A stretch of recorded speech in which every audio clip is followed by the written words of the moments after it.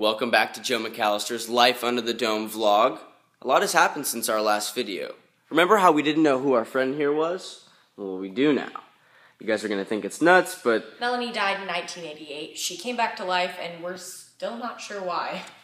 it's awesome. doesn't feel awesome. It feels weird and crazy and lonely. I'm a freak. Or a miracle. Bingo, and that's what today's experiment is all about. We're gonna see another miracle. Now, we're gonna walk on water. Melanie, how about you tell our audience how we're gonna do that?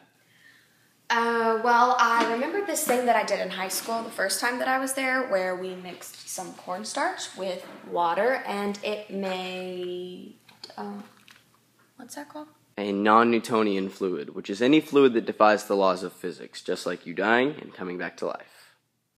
So, we went to the pantry, and lo and behold, cornstarch. What they even use this for, I have no idea. Gravy. They put that thing on everything. Yum. So now we're gonna mix it with lake water because no one can drink it, and then stir. By the way, I'm never going back into that pantry because it smells like rotten meat. Like me, right? Good one, Mel, but you don't smell that bad. But I did die. No one's perfect, Mel. Let's give it a whirl. Okay. You getting this? Yep.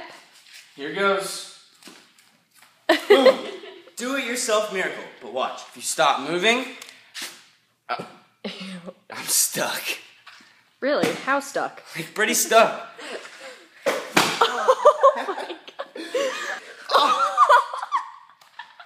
I guess that's where we're ending, because it's payback time. Don't you dare, Joe!